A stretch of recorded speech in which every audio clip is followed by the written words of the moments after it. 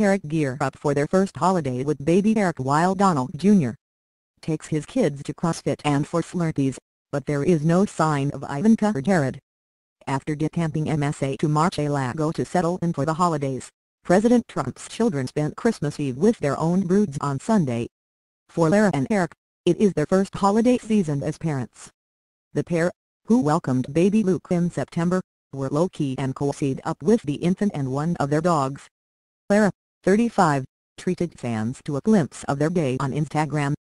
She shared a photograph of little Luke bundled up next to their pet dog, dressed festively in some Christmas joggers and a slogan t-shirt.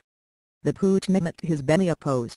New mother and animal lover Lara gushed over the sweet scene, writing, these two with a handful of heart emojis and the hashtag brothers.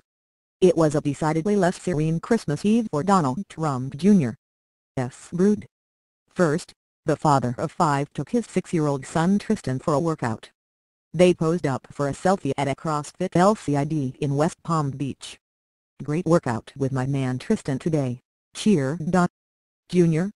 As he shared the photograph with followers.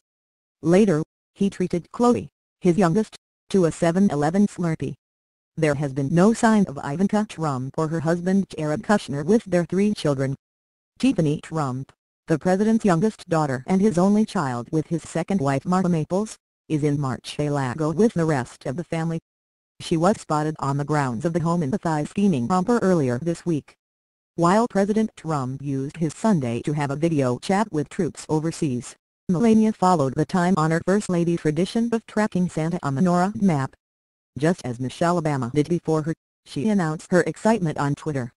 Looking forward to helping kids track Santa today with NORAD. Wishing everyone a very merry number sign Christmas Eve. She said,